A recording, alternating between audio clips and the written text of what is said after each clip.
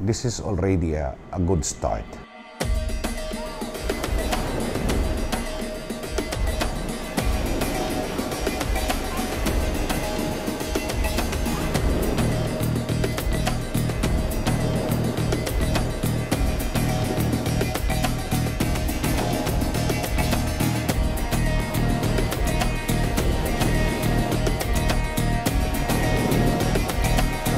Heat is underway with a bang as we have red.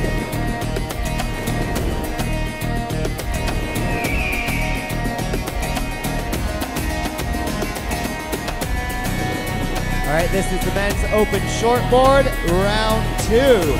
This is where the Philippines' top seeded surfers will enter the competition.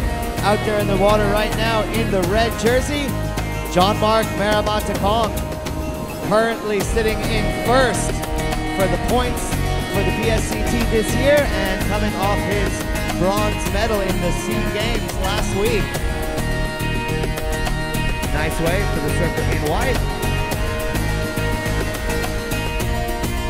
All right, 15 minutes remaining. Red is in first, blue is in second. Blue, you need